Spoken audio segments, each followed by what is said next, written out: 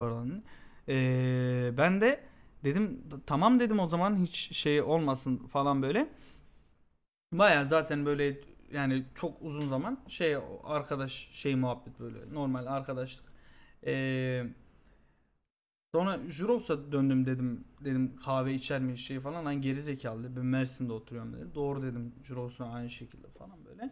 Ee, ondan sonra ertesi gün oldu falan işte. Ee, ben böyle saçımı böyle ya- yazacak bir şey arıyorum. Yazacak bir şey bulamıyorum böyle. Ee, kıza gittim durduk yere şey yazdım. Saçımı bugün sola mı yatırsam sağa mı yatırsam yazdım. Şimdi ben saçımı zaten her zaman sola yatırırım. Ama şimdi o bilmiyor ya. Ben de muhabbet açmaya çalışıyorum. Cevap vermedi. Görüldü yaptı.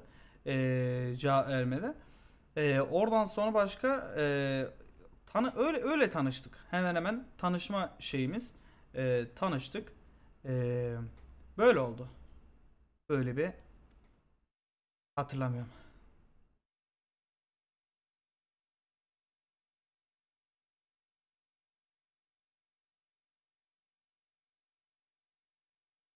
Çim adam. Oğlum harbi çim adama ne oldu lan? Lan bu ne? Lan bu ne? Oğlum bu ne? Lan bu çok yanlış oldu çim adam.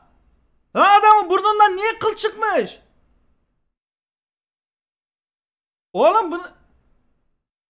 Lan yanları çıktı bunun ortası kel kaldı ya. Kel adam. Bu kel adam abi. Bu niye böyle oldu oğlum? Oğlum bu...